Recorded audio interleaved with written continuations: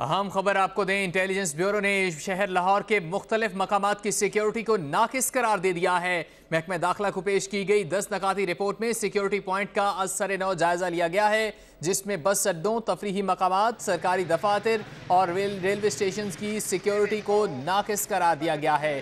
جانیں گے عابد چودھری سے۔ عابد چودھری، کیا رپورٹ آئی ہے سیکیورٹی کے بارے میں؟ جی انٹیلیجنس بیورو نے جو کہ شہر کے مختلف مقامات کی سیکیورٹی کو ناقص قرار دے دی گئے، اس والے سے جو محکمہ داخلہ کو پیش کی گئی دس نکاتی رپورٹ، اس میں سیکیورٹی پوائنٹ جو ہیں، ان کا سرونو جائزہ لینے کی ہدایت کی گئی، اس والے سے انٹیلیجنس فورس کے بس اڈوں اور تفریحی مقامات، سرکاری دفاتر اور ریلوے اسٹیشن کے پر جو سیکیورٹی انتظامات ہیں، ان کو نامکمل قرار دے دی گئی جس میں رپورٹ میں آگاہ کیا گیا ہے کہ سیکیورٹی داروں کو بس اڈوں تفریح مقامات سرکاری دفاتر ریلوے اسٹیشن پر مزید انضامات کرنے کی ضرورت ہے۔